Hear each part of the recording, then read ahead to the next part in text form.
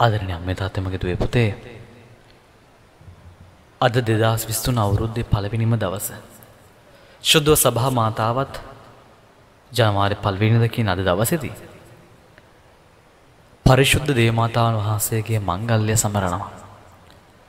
අද දේවවචන තුළට හැරිලා බලද්දී අපි දකිනවා පළවෙනි කියවීම තුළ දේවමාතාන් වහන්සේ එතුමියට ඇහුම්කන් දෙන්න සිද්ධුණු හැම දෙයක්ම සිත්හි නිදන් කරගෙන මෙනෙහි කළා කියලා.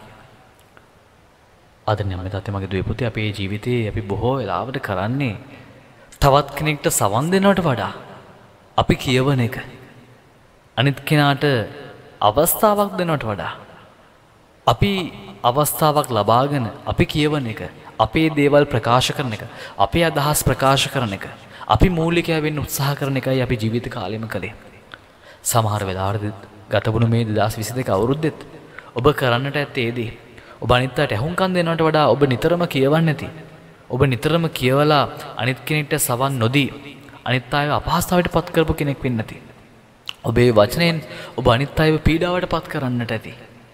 තවත් කෙනෙක්ට ඔබ සවන්දීලා උදව් උපකාරයක් කරන්න අවස්ථාව තිබේදිත් ඔබ ඒ දෙවල් මගහරින්නට ඇති. එනිසා මේ උද්දාවුණු අලුත් අවුරුද්දේ අපිත් ලස්සන තීන්දුවක් තීරණයක් ගමු. ඒක තමයි ගතවුණු දෙදස් විසි දෙක අවුරුද්ධට වඩා අපි මේ උදාවුණු දෙදස් විස්තුන අවුරුද්දෙදී. වැඩිපුර සවන් දෙනවයි කියලා.